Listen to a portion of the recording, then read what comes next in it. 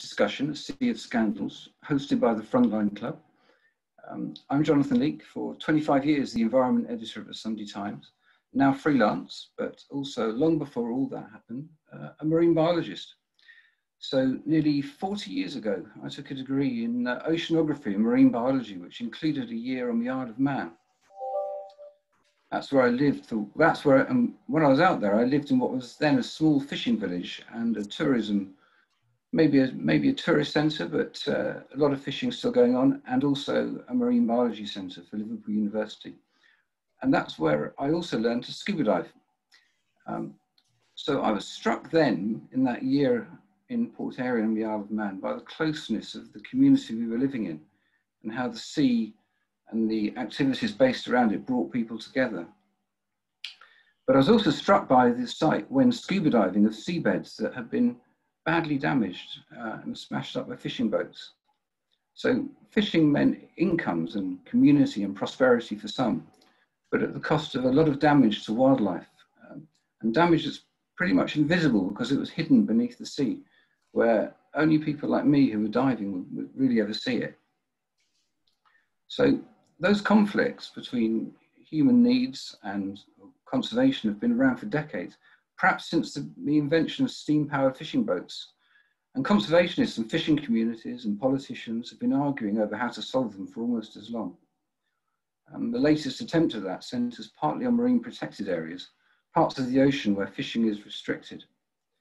And um, we've heard some news today about how those sorts of areas can work with the news that blue whale populations appear to be recovering in the Southern Ocean there's more to it than just marine protected areas. It's also levels of fishing and not killing them and so on. But it gives a sense of what can be achieved. Um, that marine protected areas are a part of a much wider debate, which also takes in Brexit, also a subject which rouses passionate feelings. Um, back in 2015, George Eustice made the following pledge. If we act decisively and leave, we will regain control and have the power to deliver the change our fishing industry so craves. In five years' time, now, the only question we will ask ourselves is why didn't we do it sooner? Well, it's five years later, and as with most things related to fisheries for the last few decades, the answer is still somewhere in the future. So here tonight, we've got three speakers we hope can point us towards at least the answers they would like. So we're going to be hearing from Elspeth Macdonald, Chief Executive of the Scottish Fishermen's Federation.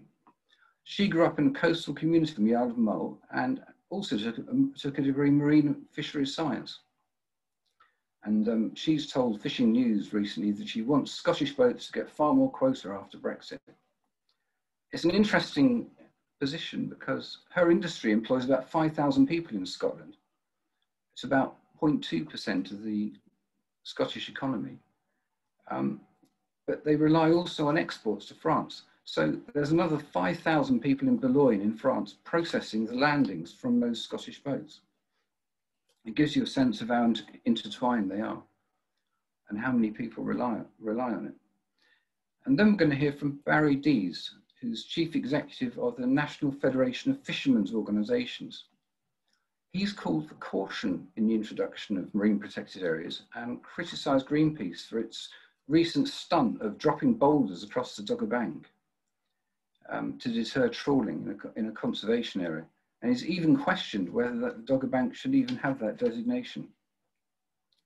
Um, but Barrie has in general been a very re well-reasoned and well-informed um, representative of the fishing industry and has played a key part in much of the thinking going on in government.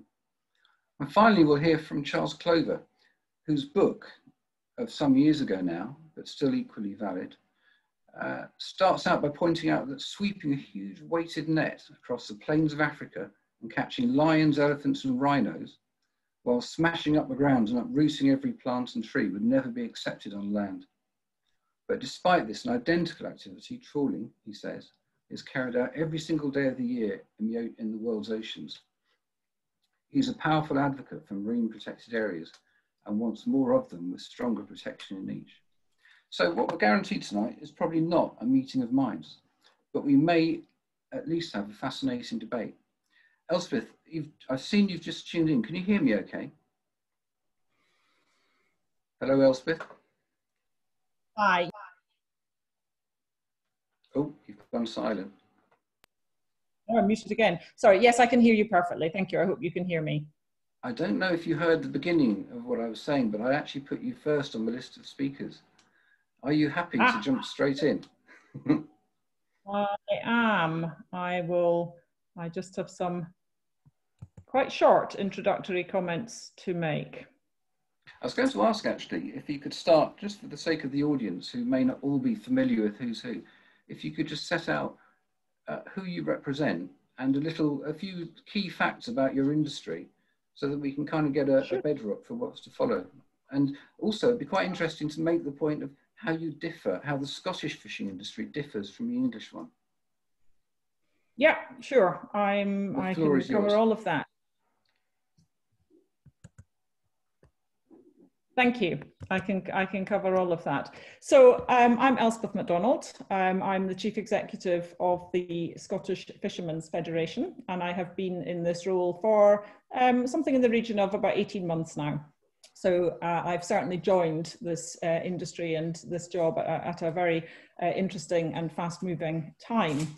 Um, the Scottish Fishermen's Federation is a, a, con, a democratically constituted industry group. Uh, it was set up in 1973 and its key aims are to uh, protect and promote the collective interests of our constituent associations, um, to ensure that um, there is a viable and sustainable future for the fleet, both in terms of economics and environmental responsibility, and that we work to improve the perception of the fishing industry attracting uh, new entrants and ensuring professional uh, standards of, of, of, training and safety in the industry. Uh, and I would absolutely emphasize safety there. This can be a, a hazardous industry. Um, so there are eight constituent associations within the Federation and uh, that represents uh, around, uh, I think it's about 450 vessels within uh, that membership. And that represents a very wide range of fishing businesses, both uh, inshore and offshore, and catching a, a very wide range of, of, fish and shellfish species.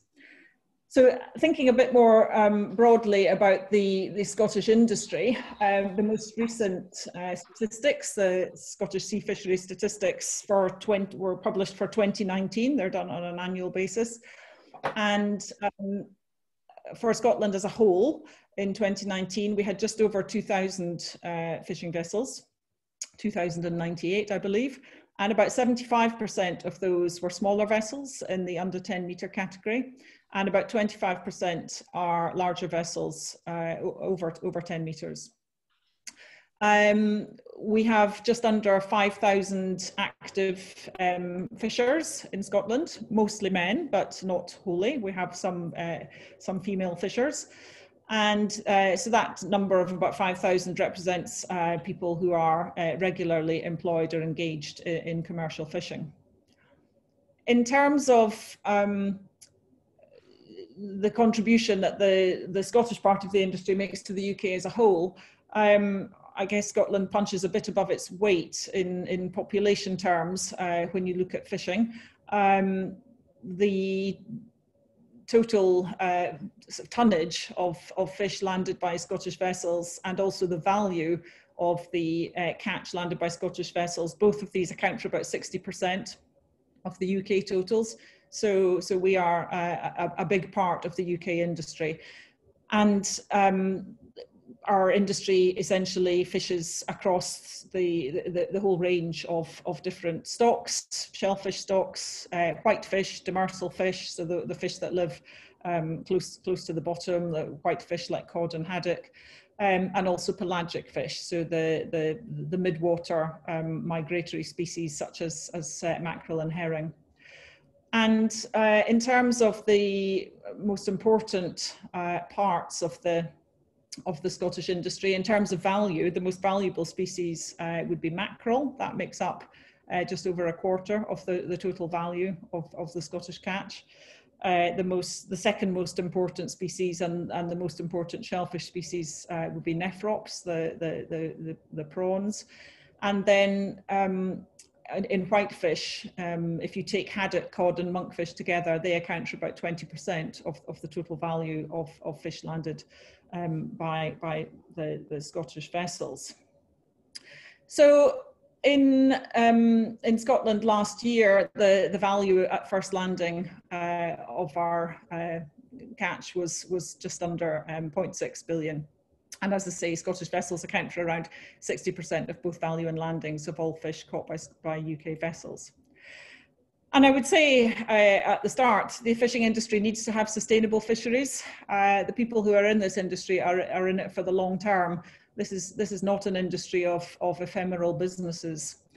And I think one of the things that struck me most when I came into this job was just the, uh, the extent to which many of the businesses involved in fishing in Scotland have been involved in fishing for generations. Uh, as I say, they're not in it for the short term and they want to pass these businesses on to future generations in good heart. And for those businesses to remain sustainable, uh, they, need to, they need to have sustainable fisheries. And I think our industry has a, a, a, good track record in working with governments and with other stakeholders to, to enhance and, and improve sustainability and, and to improve the way that we are able to, to catch fish and make sure that we've got sustainable industry for the future. So for example, we have invested uh, significant effort into trialling and testing different types of fishing gears to improve selectivity. And Scotland has been um, very proactive in, for example, prohibiting the use of certain types of gear and certain types of configurations of, of net and twine um, that can be used legally elsewhere in Europe, but, but which we don't allow to be used in Scotland. We um, just recently published uh, an updated environmental policy statement, which is available uh, on our website and contains a, a, great deal more detailed information about a number of the initiatives that, that we are involved with. And this would include, for example, um, with funding that we have um, been fortunate to have from the Scottish Government uh, and the European Maritime and Fisheries Fund, um, for over 10 years now, we have been running a, an independent fishery onboard observer scheme. And this has allowed industry data to contribute to scientific stock assessment and to the, uh, the stock assessment that are undertaken by the International Councils of the Exploration of the Seas and has also supported industry-led schemes to, to improve fishing gear selectivity.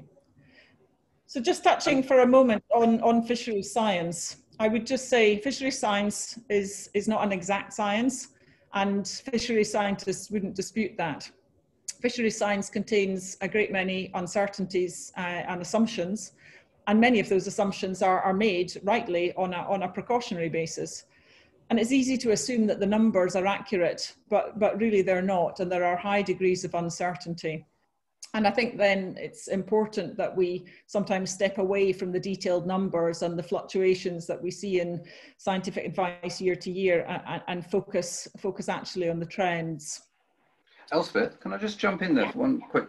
So, given we've got just an hour, what I'd like to do now is, is to move you onto the very specific topics fit, fitting into that excellent framework you set out of um, marine protected areas, uh, the fisheries bill, and Brexit. In other words, we've got some, we've got a push for by conservationists for marine protected areas. What are they? What should they be trying to do, and how might your members respond to them? And then putting that into the wider context of Brexit and British uh, attempts to protect and safeguard its own waters. Yep, sure. Um, well, we work very closely uh, with the Scottish Government and other stakeholders on marine protected areas. There's a, a pretty extensive uh, network of protections that, that are in place. There are a number of, of pieces of legislation that, um, that require protection of species habitats or, or uh, priority marine features. And we have worked uh, very closely with, with the Scottish Government to um, in terms of the designation of those areas and, and the, management measures around them. And I think what we have been very keen to promote and ensure is that the designation and the management measures of, of MPAs are based on evidence. And for example, I think there can be a, um, a perception perhaps in the public's mind that a marine protected area is an area where no, no fishing or other types of commercial activity can take place. And that is very much not the case.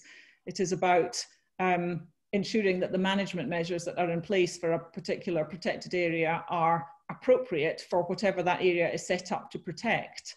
but that there can be a, a, a an appropriate balance between conservation and, and, and commercial activity that, that could take place there. The, um, I think the linkage with the fisheries bill is, is really important. Uh, the fisheries bill is the new piece of legislation on the statute book in, in the UK. If, if it hasn't yet received royal assent, it will be very close to that point. And that um, I think sustainability is at the heart of that fish bill. There are, I think, eight or nine uh, fisheries objectives set out on the face of the bill. And I think uh, is either five or six of these uh, relate very specifically to sustainability. So I think the fisheries bill provides us now with the right legislative framework for the future for us to have the right arrangements in place for the UK. So all of that links obviously inextricably to Brexit because it is the UK's exit from the, um, from the EU and therefore our exit from the common fisheries policy that requires us to have a new set of legislation in the UK for how we manage our fisheries. And I think I think it is it is very apparent through the bill and the work that has gone forward to develop that bill is that this needs to be a, a, collaborative process involving government, involving industry, involving other stakeholders. And I think as we go forward, developing the fisheries management plans that will flow from that bill, uh, there's going to be a lot of work to do to make sure that we've got a, a, a a real sort of co-management and, and co-production of what those fisheries management plans look like.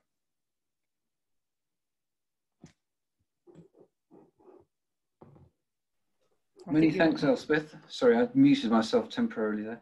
Um, one quick question with an answer that could be as long as you want, but I beg you to keep it short, which is you use the word sustainable a great deal there. And sustainable is one of those magic words that means lots of different things to different people. Some years ago, I can remember asking DEFRA what their definition was after they published a paper, uh, mentioning it many times, and they didn't actually know what it meant. They had no definition. And hopefully things have moved on since then. Um, but I note that the sustainability clause in the fisheries bill was actually, uh, as a primary objective, removed and then put back in. So it was, there's controversy over it still. But what, what do you mean from a fisherman's uh, organisation's perspective by sustainability? What does it actually mean in practical terms? Well, I think uh, looking at it in the context of, of the fisheries bill, I, I think what's important is that the when we talk about sustainability, we're balancing all three pillars of sustainability. So we have environmental sustainability, we have social sustainability, and we have um, economic sustainability. And it's about, I think, through the bill, making sure that these things are, are applied in, in balance. And if I think, if I'm, I'm just looking here at the document I mentioned, our environmental policy statement, which I would um, recommend to, to anybody who wants to read a bit more about this, we say at, a, at, its, at its simplest form, sustainability can be defined as meeting the needs of the present without compromising and perhaps improving the ability of future generations to meet theirs. And I think that's, that's exactly what we're trying to achieve here, ensuring that we can have environmental sustainability with a sustainable industry, sustainable communities benefiting from, from both of those things, not just now, but also into the future. Okay, many thanks for that, Elspeth. Um, Barrie, we're going. To, I'm not quite sure where you came in. Did you hear the running order? Because you're next, if you don't mind. So being. Well, I'm here. Good to see you again, by the way, and um, thanks for joining us. Um, well, if you, if perhaps you could follow the same structure and just very briefly set out who who you who you are and your what your organisation is and who you represent.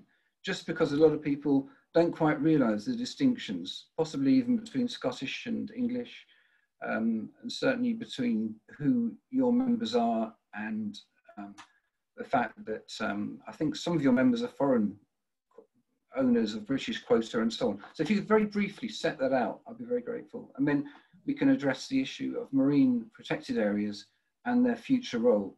I've seen your criticisms of some of them. I'm interested in hearing about that. Okay. Um, so uh, yeah, I'm, I'm the chief executive of the NFFO, and um, uh, we represent fishermen and fishing vessel operators in England, Wales, and Northern Ireland. Um, so, in uh, in the UK generally, there's uh, about um, uh, uh, 5,500 vessels, um, of which um, 3,500 are England and Wales. Um, but 7,000 fishermen uh, we're talking about there. It's an extremely uh, diverse fleet. So we represent very large pelagic freezer trawlers that's fishing for large shoals of uh, mackerel, blue whiting, horse mackerel, um, right down to single-handed vessels fishing off beaches and, and out of creeks. So uh, we, we, we, represent uh, everybody uh, and fishing for uh, quota species, but also non-quota species. Um, as some of your, uh, the participants in this webinar will be aware, um, there's a certain amount of UK licenses and quota over the last 20 years while we've been in the single market have been purchased by uh, Anglo-Spanish, Anglo-Dutch, Anglo-Icelandic uh, companies and individuals. They are part of, part of the scene. They tend to be concentrated on particular uh, species. Um, so uh, that's really um, who we, uh, we represent. Um, in terms of um, the, the, the, themes tonight of marine protected areas, Brexit, and, and the fisheries bill.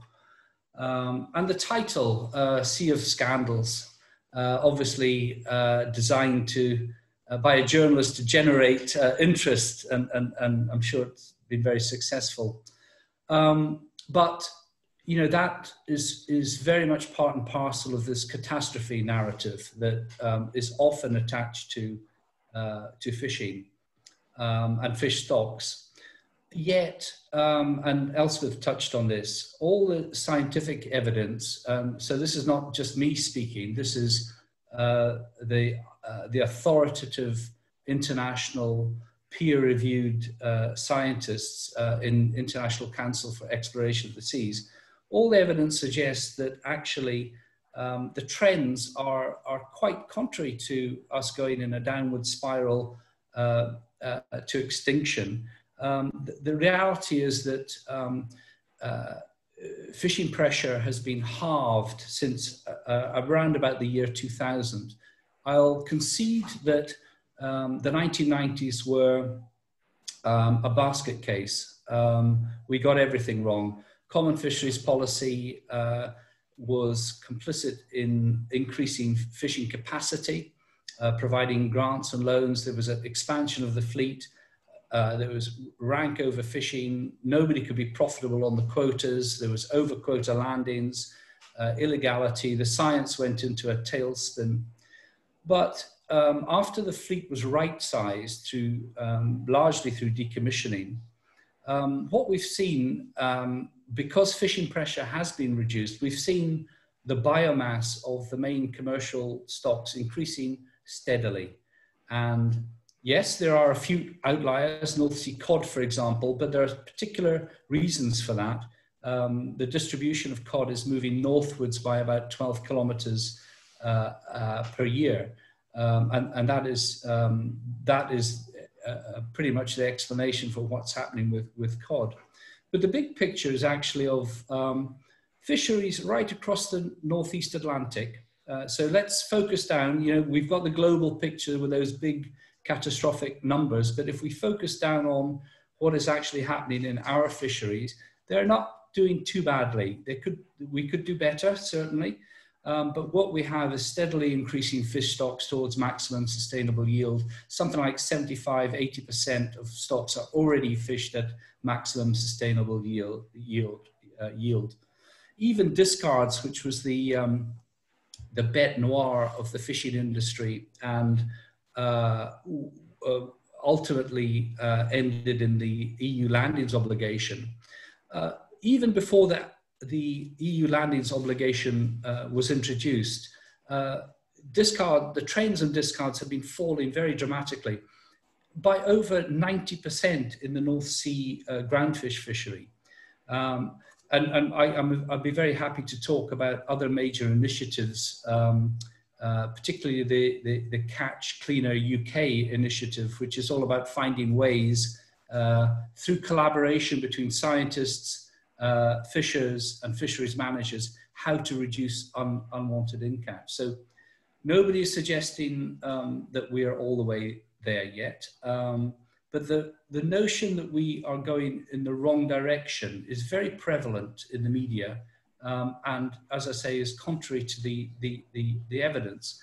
Um, I was very struck by in your film uh, where, where the um, Ullapool uh, children, I think it was Maya, um, said, you know, we have to think about these issues logically, and I completely agree with that. Um, and one of the features of a logical approach is to pay attention to the evidence and just not make things up. Um, and so uh, that, that's one of the reasons why um, in the, we very much welcome uh, in the fisheries bill that policy should be evidence evidence based.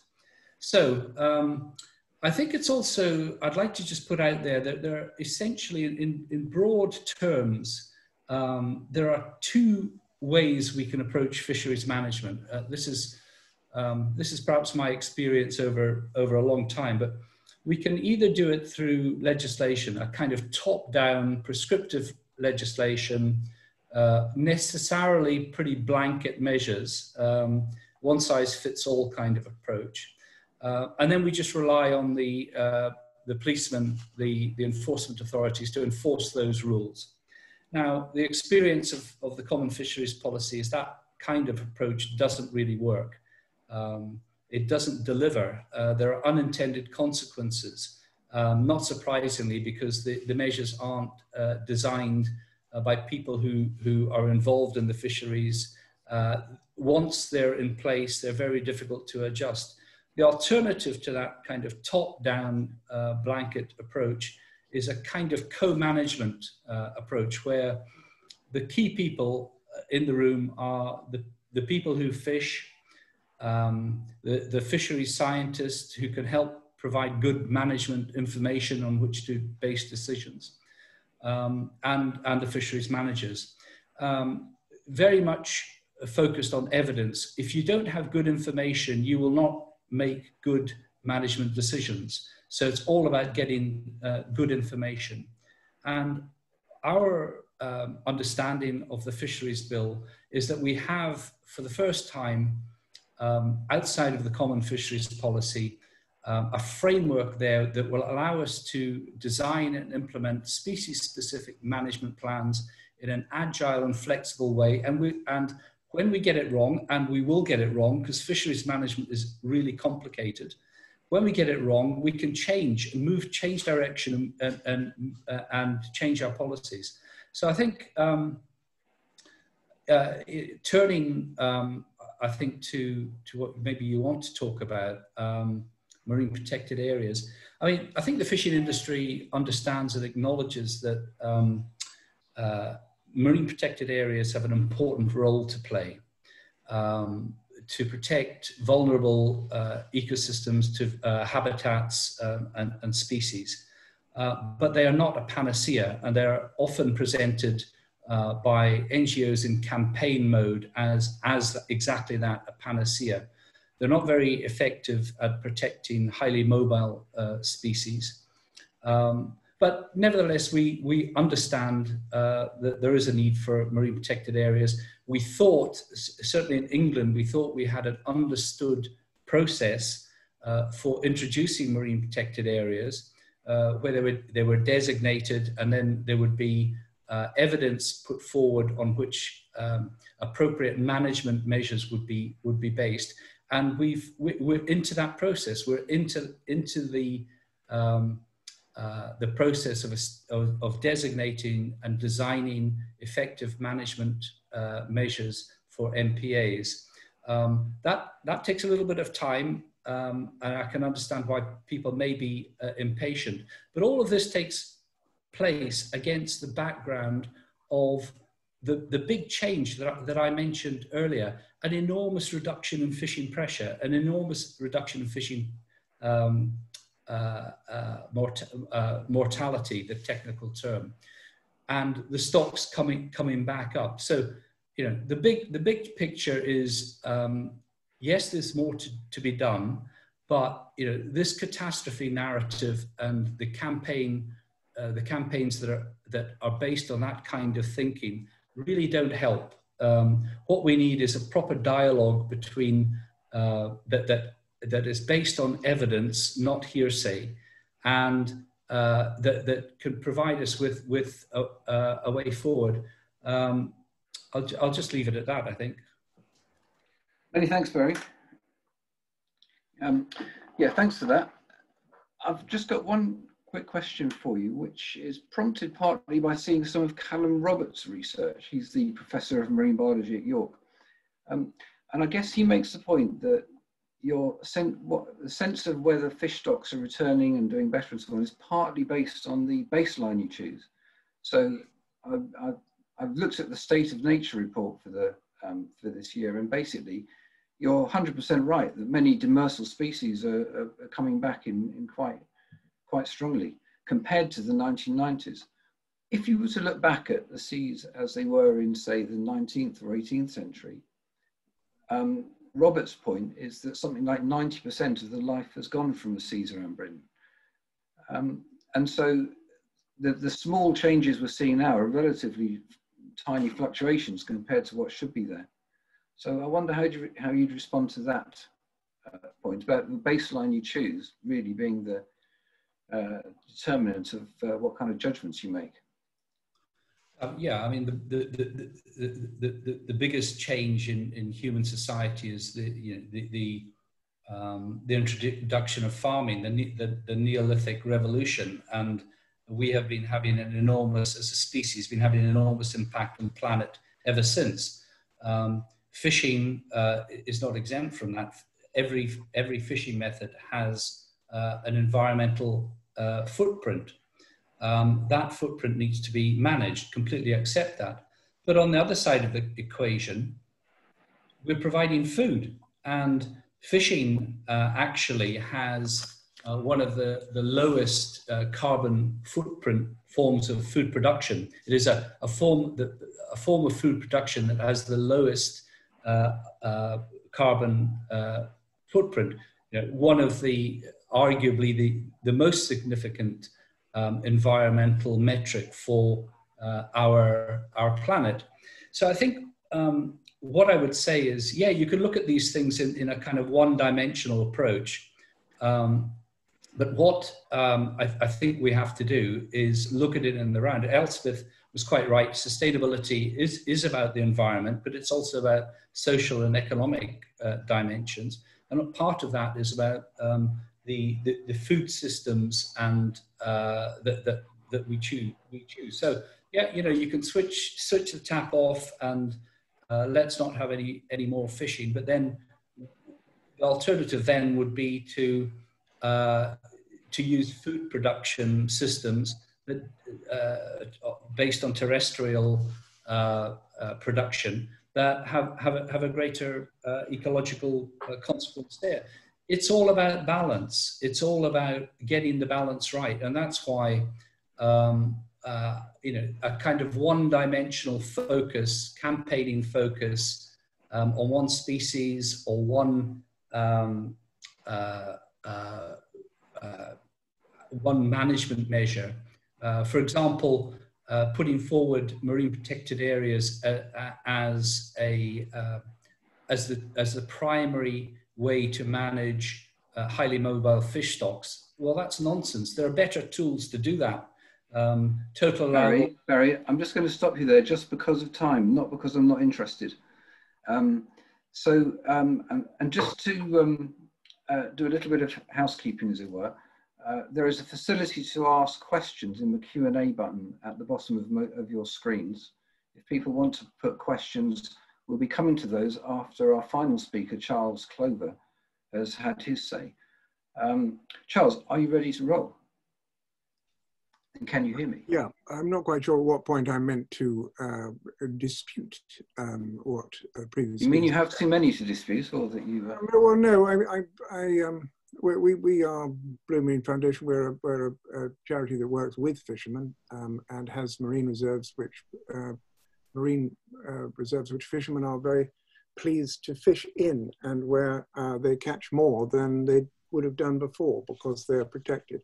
So I think there's a lot of um, nonsense being talked. Um, but there is a particular piece of nonsense which the, the, I read on a briefing to the House of Lords, and I've now heard Elspeth say, which is that you've got to balance the three pillars of sustainability. That is utter right or utter tripe. You, you depend upon, and this is what the Sustainable Development Goals say. So this is, DEFRA's got that wrong if they've been saying this. The, the, the, the, uh, the biosphere is what we base everything on. Uh, we, buy, we, we cannot have society living in places on the shore unless we have uh, the, the biosphere. And if we've screwed it up, then, then there is no, going to be no society and no economy. Uh, society is based on the, on the bio, biosphere and, and, and uh, the economy on that. It's called the Sustainable Development Goals wedding cake. That is, the, that is the current definition of sustainability. The one sits on the other, sits on the other. So you can't balance them out. You have to, you can apportion them once you've decided how much of the biosphere you can take and how much you need to leave in the sea. Uh, you can apportion them between society and uh, then decide how you're going to build a, the most effective economy on it uh, but you can't balance those goals. And DEFRA has got it wrong. They've been told they've got it wrong, and it's not the current SDG thinking. So I just needed to say that because that's quite an important intellectual point. I was going to say that, uh, well, actually, Jonathan, you stole half the things I was going to say anyway, so I wasn't. I won't go back. There, there are astonishing. Um, we, we need to to to to, to uh, make quite clear that Brexit is a, a, a turning point. Could be, a, is going to be a turning point, which whether it's up or down. Um, but it, it, it, more than most of the other things, from a completely objective and whichever way you voted point of view, uh, you know, we have an opportunity to get it right, which for at least 40 years, and you could argue for centuries, uh, you know, we haven't been. Um, it is shown that if, you know, seabeds and, and seas and species who, pass over them uh, are given a chance to recover. You know, marine life uh, floods back faster than we could have dared hope. There are examples of that, very few of them around the world, but where we have marine reserves, they exist. Um, and where we have good fisheries management. I tend to agree with Barrie on that quite regularly.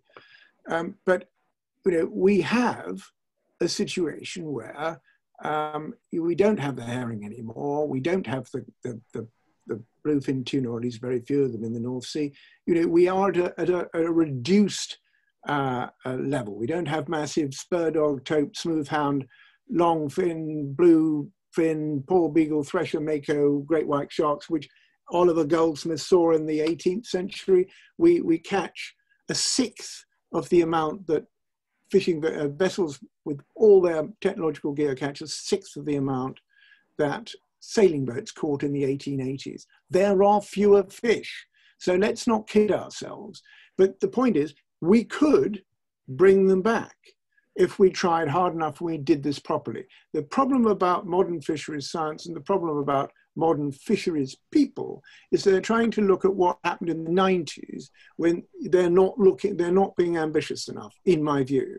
Um, it, and, and I don't think that's acceptable anymore because in the course of the, uh, the, the, the, fisheries bill, we have discovered, we've been told for the first time by the government that the, the, the, the right to fish is a public right and that the, the, the fisheries are, uh, are owned by the Crown on behalf of all of us. Well, if they're owned by all of us, then why is 55% of, of English quota owned by foreigners and why there's pretty much 95% of it owned by industrial fleets, which are arguably more um, damaging and destructive to the ecosystem than the inshore and, and slightly offshore fleets. Why, why is that? I don't think that's a sustainable position. So the Brexit has within it these great dynamos of change, which, which will happen willy nilly if you accept that it is the public right and this is a public asset. Because public assets are better managed in other circumstances, whether it's the Crown Estate or the roads. You know, um, the, the, what the public wants uh, gets taken account of rather more. Um, in, in terms of what people have said about uh, fisheries management, Um, I would point out that we're coming out of the common fisheries policy, which was supposed to have all stocks um, back to sustainable levels by, by 2020. It has signally failed to do that. Um, and uh, I think 46% of stocks are currently overfished in the year that we were meant to stop overfishing by. Uh, well, we're out of the common fisheries policy, but the, the, common fisheries policy is failing because Europe's politicians fail to observe their own laws. How is it going to be after Brexit in the fisheries bill? Um, will they be ambitious enough? I mean, Elspeth's absolutely right. It's all, uh, all down to fisheries management plans. And um, it is very important that we consult everybody and that these are co-management and that we don't do top down. But we are totally aware of that because we work with fishermen in Lyme Bay, a, a, a marine protected area. But the, the, killer point on fisheries management, if I may just finish that off before we get on to, to marine protected areas, is this. Um, Rainer Froese, um, a, a, very distinguished German scientist, looked at 400 European fish stocks and he was amazed to discover that, you know, we catch 8.8 million um, uh, uh, tons of fish a year in the whole of Europe. But when he did the numbers, what surprised him was that we could catch an additional 5 million tons if we only managed them properly. Now, obviously, it's worse as you go further south, but that is also true in the North, uh, North Atlantic. We would get that plenty back. We might even get back to Oliver Goldsmith if we set quotas slightly lower for a couple of years and then obeyed uh, European law, says MSY, maximum sustained yield, no more. And, and we would have that bounty back um, roughly in five to 10 years. So why do we do it? Um, profits for fishermen would improve by, would double in that time span. So you know, the industry is always trying to look at tomorrow. If we were to look at 15 years hence and decide how to get a better result, um, maybe we should even devise a blue bond to make that an investable proposition. Maybe that's what the other speakers want to do too. I don't know. I'd like to hear. So we better get on to um, to. Charles, to I'm yeah. just going to just jump in there and say, if you can, we want to get some questions in. So if you can finish off in two or three minutes, I'll be grateful. Sure, yeah, yeah. I'm just taking on the points. Um, so if the sea is going to be managed as a public asset, then we should aiming for healthy seas, not picking amid the ruins, um, in my view. Um, healthy seas are in our interest, but particularly in, in, in, the interest of fishing communities. We've just had this very good report, uh, which shows that if we increase the number of protected areas, we would have by 5% in the world, we'd have 20% more fish uh, to catch, which seems quite important. So I, am I'm, I'm really positive about this, and I'm really positive for the for the fishing industry. But you know, we need to. The only way you invest in the sea is by taking less out of it, and it grows, and you can then catch more. So we need to have a system for doing that. Um, but we we have made a lot of mistakes in managing fish, so that's why you need marine protected areas. Marine protected areas work. Look at Lyme Bay. This is a protected area of a sort. It's a European protected area. It's quite a large one. It's the largest in UK, or was at one time, uh, where trawls and dredges are banned. And there is an explosion of life. 42 fishermen fish there with pots and set nets according to a voluntary code. One fisherman recently described an interview as uh, a gold mine. We are putting out a, a, a, film about Lyme Bay and the, the win-win uh, project between conservationists and fishermen that we have run there with them, co-managed for the last 10 years on uh, Tuesday next week. Um, so I just want to skip to this fact that, you know, at a national level, Britain's doing wonderfully well, uh, championing the ambition of protecting 30% of the world's oceans by 2030. It seems certain people on this call don't seem to know that. That is our national target. Um, but you know, you have to accept that, you know, while we do uh, uh, Tristan da Cunha, which we uh, helped uh, fundraise for, uh, many other people did, and, and Ascension, these huge, um, fully protected reserves out there in the Atlantic, you know, we need to make protection, mean protection, nearer to home. Was out there in the because of the common fisheries policy and the confusion uh, and and the fact that uh, fishing trumps environmental law in European waters. We have not been applying any management to our offshore marine reserves, and that's not good enough. And places like the Dogger Bank, designation about 2012, talked about for a lot longer than that, probably actually in, in, in, in law uh, should have been protected for earlier, earlier than that. Um, no management whatsoever. An entirely nuclear arsenal of every single fishing method has been uh, uh, applied to them, including pulse trawling, which was uh, the, even the European Commission now accepts illegal. There are more there are more fishing vessels in marine protected areas than outside them. That is a report uh, uh, published last year. This is Charles, Charles, that's a great place to end, if you don't mind. Not yep. again because we're not interested. We are, but we're just short on time. Um, I think it's possible for anyone listening to put their hands up, and I can see them on my screen and uh, allow them to ask a question. Um, but just while people are figuring out that technology, Charles, I'll just put one quick question to you.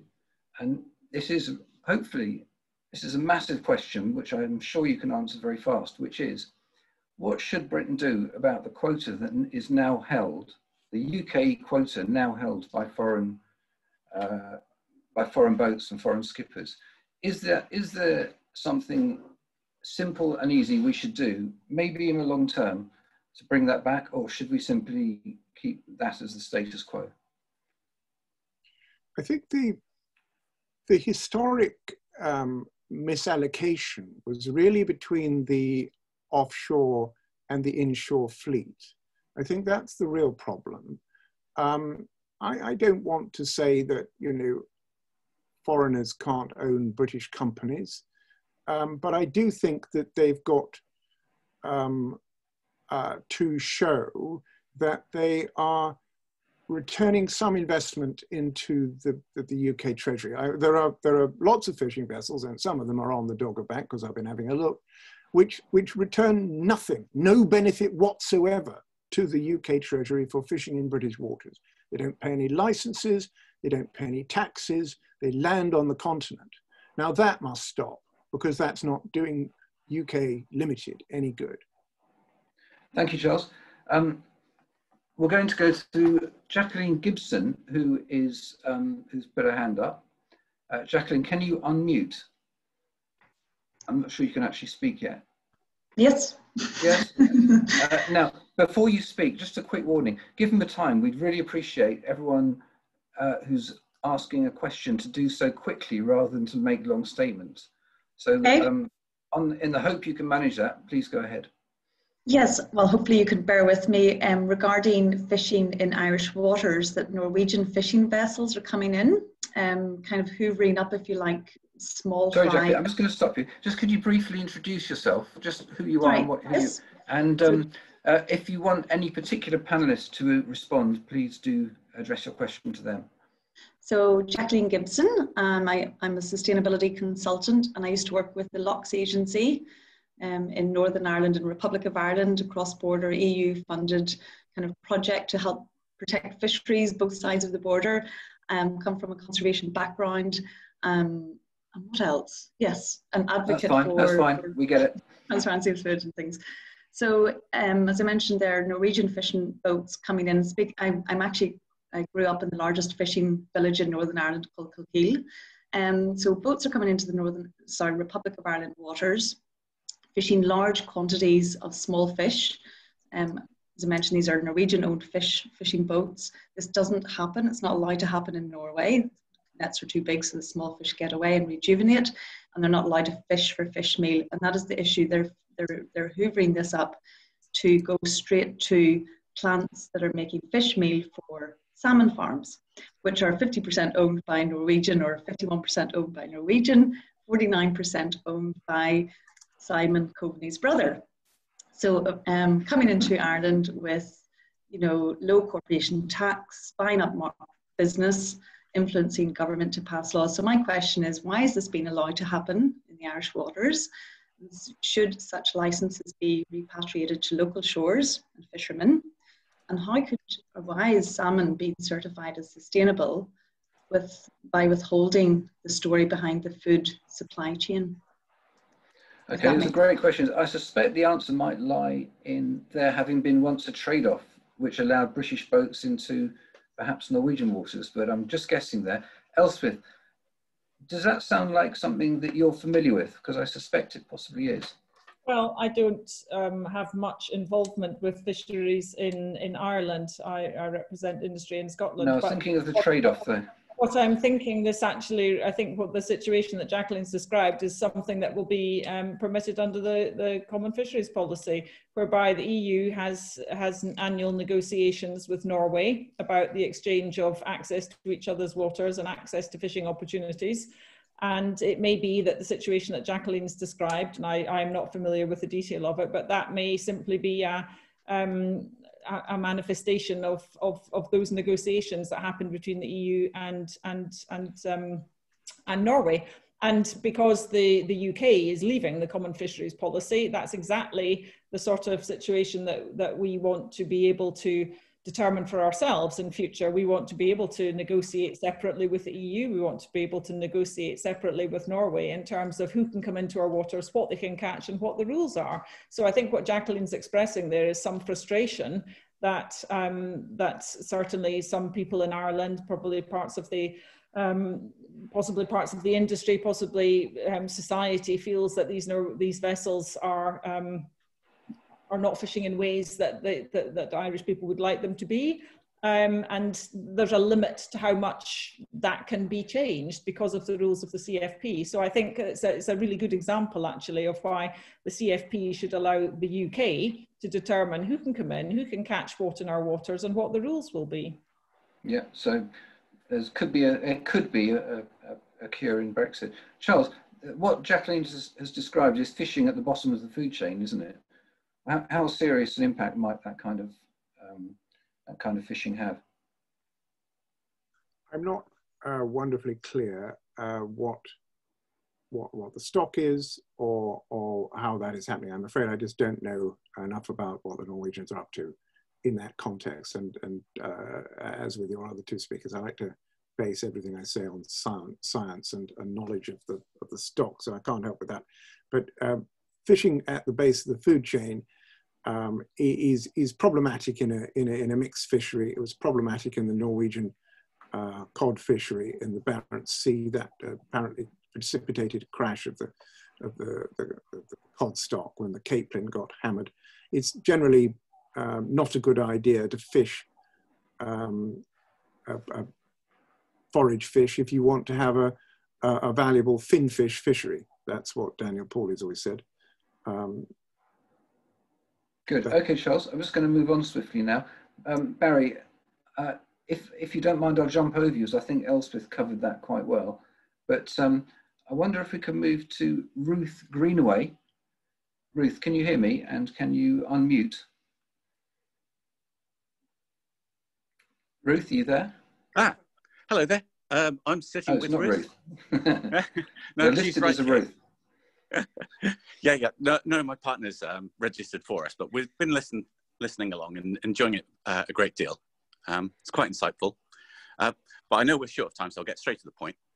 Um, looking at how you've got ghost nets and all the detritus that's left by uh, fishermen on the seabed, which will basically be death traps for, well, 600 years or more.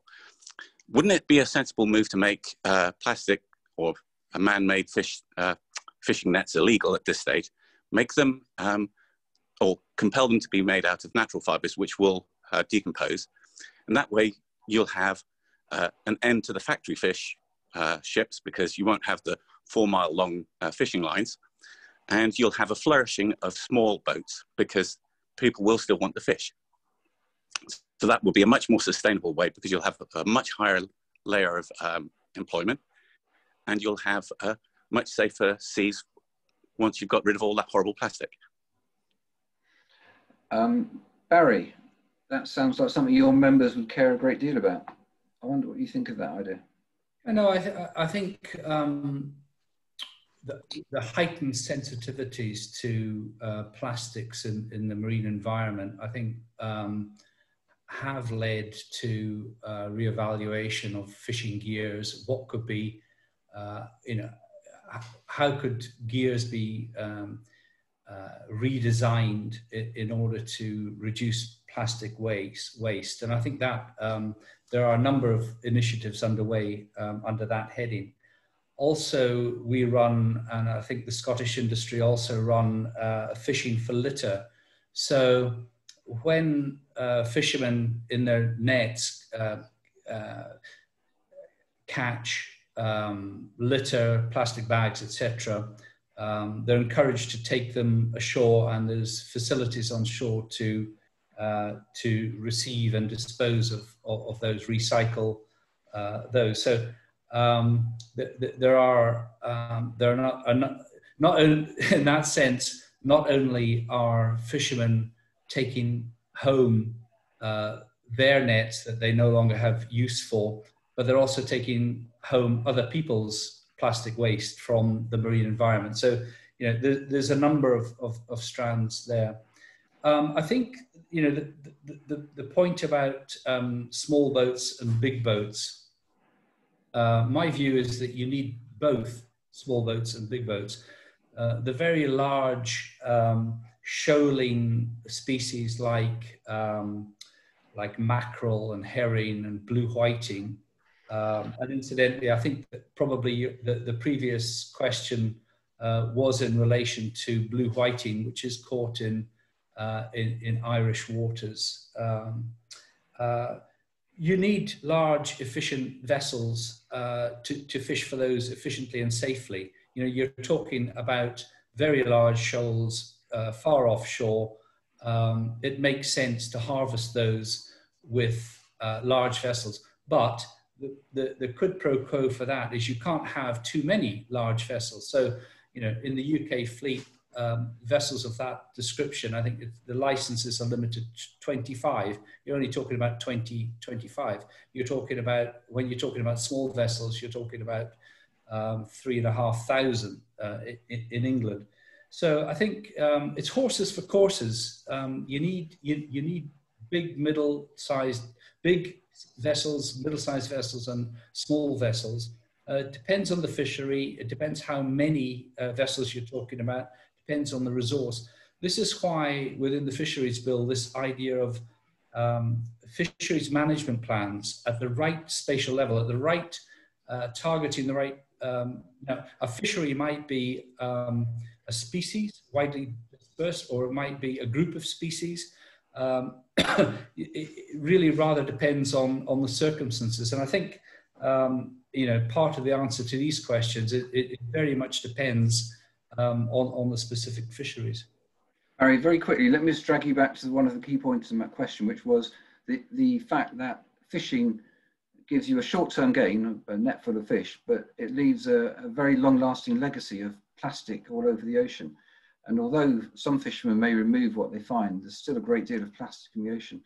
Um, his point was essentially that the um, that can't we make nets out of something a little more, uh, which will decompose naturally? And why do we have to keep using so much plastic? Elspeth, do you want to come in on that one? I see you waving your hand.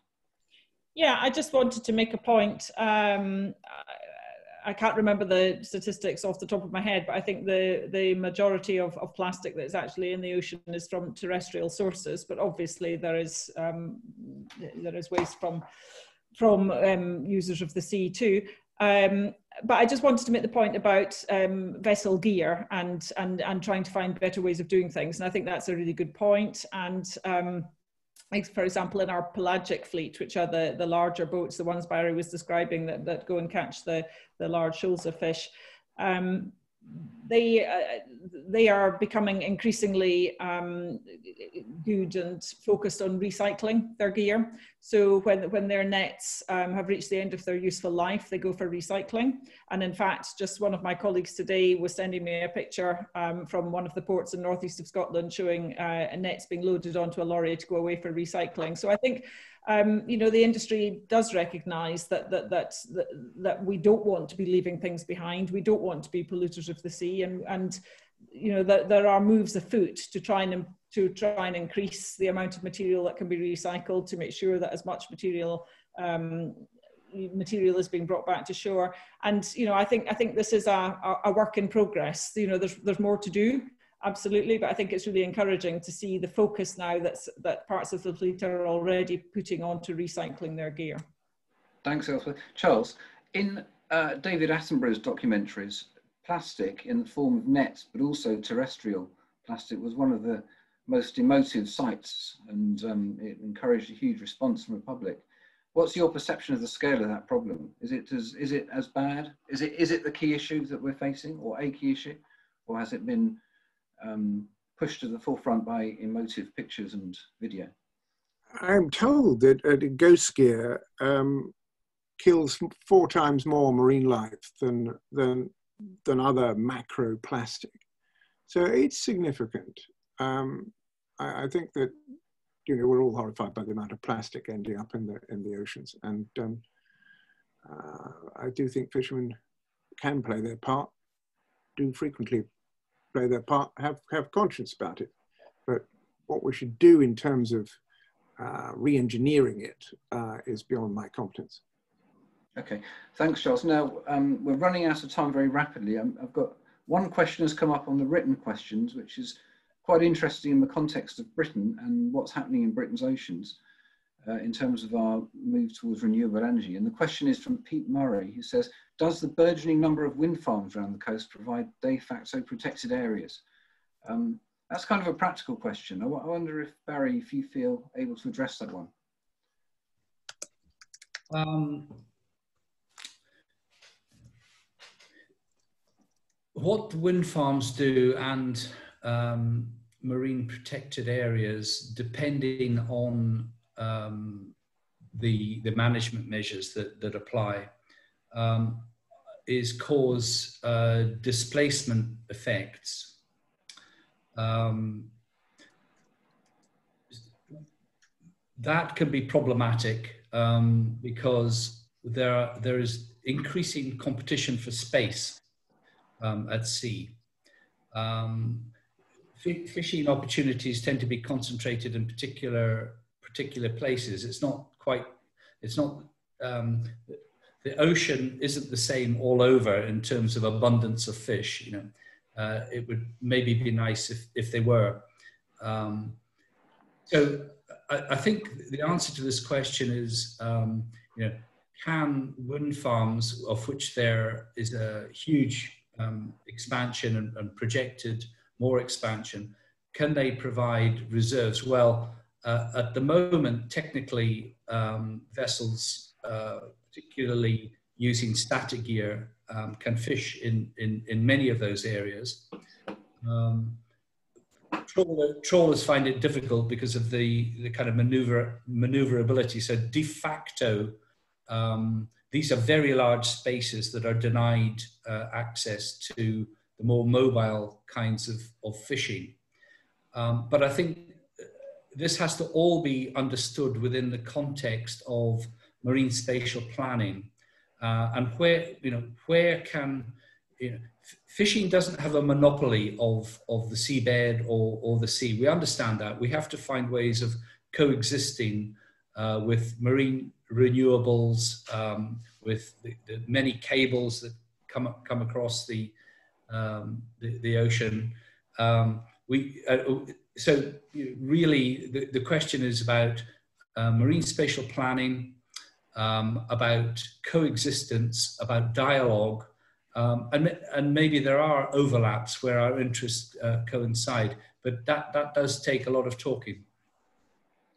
Okay, uh, thanks for that, Barrie. Now, uh, we're rapidly running out of time and um, we've got two more things to do. One, the first one is I'd just like to go around the three of you and ask what your hopes or vision might be for Britain's seas and the progress happening in them, say, 10 years hence. We'll be post-Brexit, we'll be post-fisheries bill, um, there'll be um, an entirely new regime in Britain's oceans, also including renewable energy. So in brief, I wonder if each of you could set out what you hope we'd be seeing from that, adding in, of course, the impacts or benefits for our coastal communities.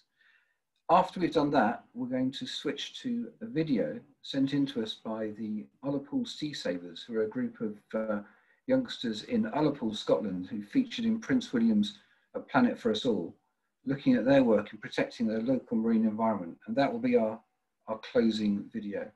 So um, which of you would like to go first in just setting us a little bit of a vision? Elspeth, how do you feel? Yeah, I'm I'm I'm happy to because I think it, it touches on a, a, lot of the things that we've been talking about tonight. I think um, um, it would be great ten years hence to find that we had um, lived we'd lived through a period whereby the the work that we've been able to do under the new Fisheries Bill, Fisheries Act, gives us exactly those sorts of fisheries management plans that we need adaptive innovative responsive ways of managing fisheries so that we have healthy stocks, good fisheries, um, sustainable management, um, that we have, um, I think, got the, finding the right way forward in terms of that sort of spatial planning, some of those pressures on space in the sea for different different activities that, we, that we've spoken about, um, that we have, um, I, I hope, a, a, greater recognition of the um, real importance that, that the industry can make to the production of um, a low, low carbon food source and, and, and recognition of the um, important contribution that we can make to reducing, uh, re reducing carbon footprint of our diet more generally. But I, I would love to see also that um, we could have uh, reduced even further the, the, carbon footprint of, of, the, of the fleet through innovative technology, for example, that, that, that can drive that carbon footprint down even lower. So I think some of these things would be great to see 10 years from now. Okay, Barrie, your 10 year vision. The first thing I wanted to say is in, in, doing a little background uh, reading for today, I found out that um, the carbon footprint for whitefish and pelagic uh, fisheries is lower than tofu, which was um, uh, I thought quite quite illuminating, quite interesting. Um, but in terms of vision for 10 years, well, um, the negotiations that are currently underway ought to deliver uh, a much fairer quota balance for the UK. And on the back of that, uh, I think there's a lot that we can do for um, our coastal communities. Um, the fisheries bill has given us a much more agile um, fisheries policy, but it's only a framework, it's only a platform. Uh, there's a huge amount of work to, to, to be done. Um, I would hope that in 10 years we've got um, uh, a, a, good tranche of fisheries plans in place, up and running, um, delivered through uh, co-management that you know address those kind of very basic questions. Where are we now? You know, we need the information, the good sound information on which to um, manage our fish, manage our fisheries, and reduce the kind of um, uh, statistical avalanches that we, we we've kind of heard tonight. Where you know, well, where does that figure come from? Is it valid? Who who made it? What what interest? You know, uh, an agreed understanding of the information on which we're managing our fisheries. Um, the next question is where do we want to be? I'm not really that interested in interminable um, discussions about maximum sustainable yield or economic yield. I'm more interested in moving in the right direction. If you continue to move in the right direction, that's much more important than arcane discussions about destination. And then the really key issue is um, how do we get there? What are the measures that will take us to where we need to go, fishery by fishery?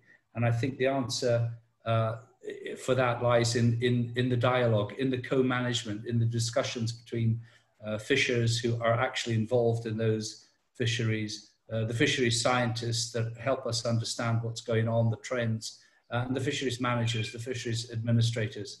So, uh, you know, I think that's, um, that, that would be my hope. Many thanks, Barrie. Uh, Charles, so in 10 years' time, will we have more fish in our waters and will we, might we have less Europeans?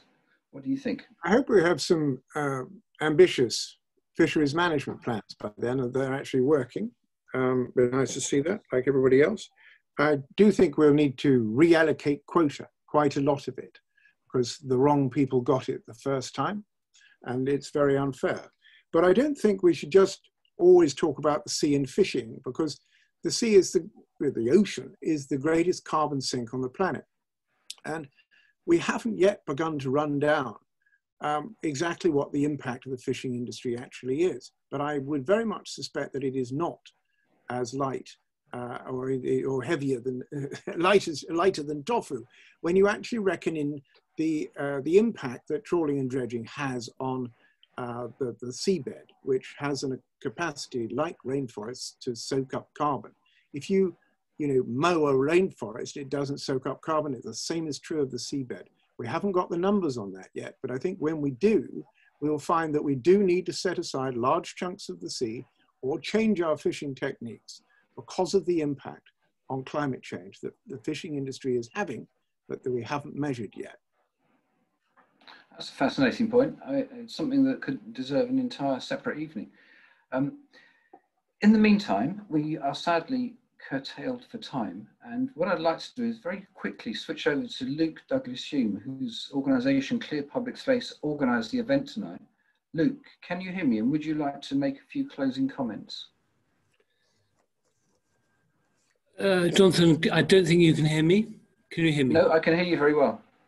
Very good, very good. Thank you all for a great debate. This is so interesting, Charles, also about the longer term plan, about the carbon sinks, I think is, is very important for us all. And Elspeth and Barrie, thank you so much for putting the other side of the pro fishing industry to the MBA, MPAs, marine uh, protected areas. Um, this is a great debate. Thank you very much indeed. And please follow us in the future. Uh, environmental Frontline, we persuaded the Frontline to do environmental series of, uh, of debates. Let's keep continu continuing this because the Frontline is all of our, the environment is all of our frontline. Thank you all. Many thanks, Luke. And finally, um, we're going to try and do some technological wizardry and switch over to the video from the um, Ullapool youngsters. So bear with me while I switch you across. Thanks to all of you, and especially our three panelists for coming uh, online tonight. It's been really interesting. Fisheries is an immensely complex subject. Every time I talk about it, I learn something new, and I think I've learned something new from all three of you tonight. So bear with me, we're going to go to the Ullapool group and here we go.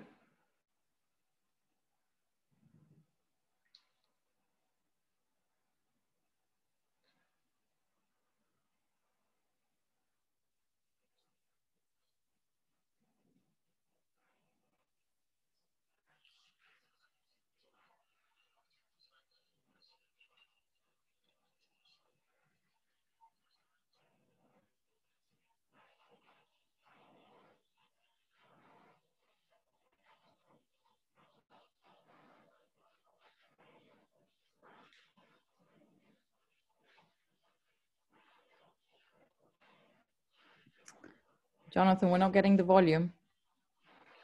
Oh, really? That's annoying. In that case, do you want to try sharing yourself, Pranvera, or shall I?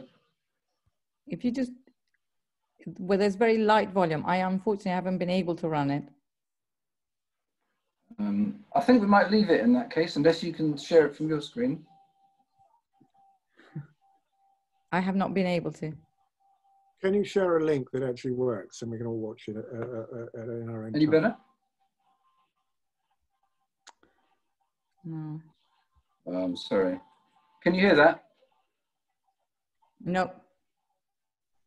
Okay. I think we might just um, have to leave that one then. Uh, but um, Pranvera, can we ask you to put it onto the frontline website below we will. on the um, event listing? So that people can watch it for themselves.